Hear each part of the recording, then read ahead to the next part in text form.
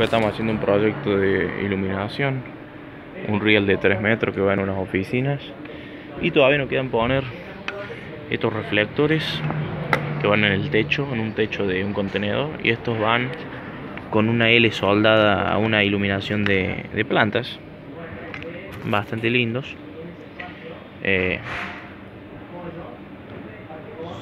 son, bueno, clase 2, son herméticos, estos son, son 220 a 220, 3K, cálidas.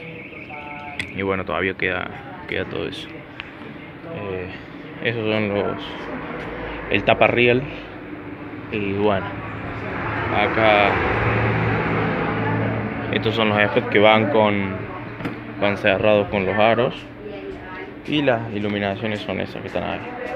Y bueno, todavía tenemos que iluminar esas dos plantitas también y bueno, ya quedaría. Ahí vamos. Saludos a todos, no olviden suscríbanse, comenten, denle like. Saludos.